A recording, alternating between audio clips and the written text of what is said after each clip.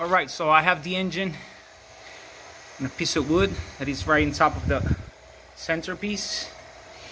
I put a piece of metal on this side and that helps to keep the engine level. Now, I put a string line right on the sprocket like I always do. And if you could see, it's perfect on the top and it looks good on the bottom which means it's straight. Now using a quarter of an inch angle I'm gonna I did a pattern that it goes here like this to tighten the change this is chain tensioner. So what I'm gonna do now is I'm gonna go ahead and do these right here. So I got this done on both sides.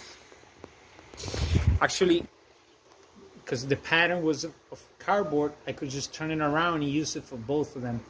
And um, as you could see I could weld them now here underneath and then on the top here and then here and it's going to be very strong because it won't it won't allow it doesn't matter the pressure of the engine it won't push it down so this will never bend. That's good it's strong. Plus I got two which is good because when you tie the chain you never have a problem of these going like this trying to bend. That helps the crank because sometimes they do break through here usually go-karts have the chain tensioner right here. But like I said it's a scooter engine. It gives me the opportunity to hold it here and here. That's where normally the shock absorbers go on the scooter. So I have that. And um so now next I gotta take care of doing uh, the pieces that are gonna hold the shock absorbers I also got to put the pipe, which I actually I'm gonna put the pipe now, the, the muffler, because I want to see how it looks.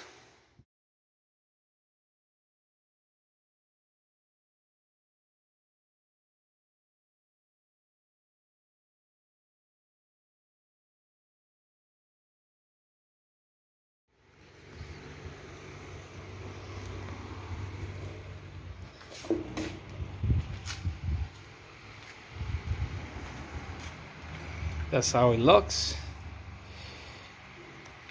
Of course I can always cut the header and make it come a little bit more towards this side also a little bit more in. But it looks pretty good. Color looks good too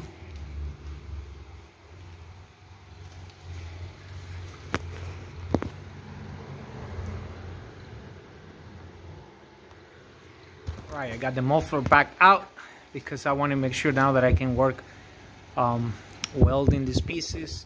I do have to work now with the shock absorbers.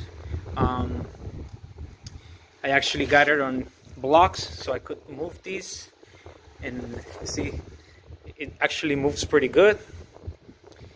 That means the engine won't have that much you know struggle moving the pieces. It, so hopefully we are going to see this thing moving soon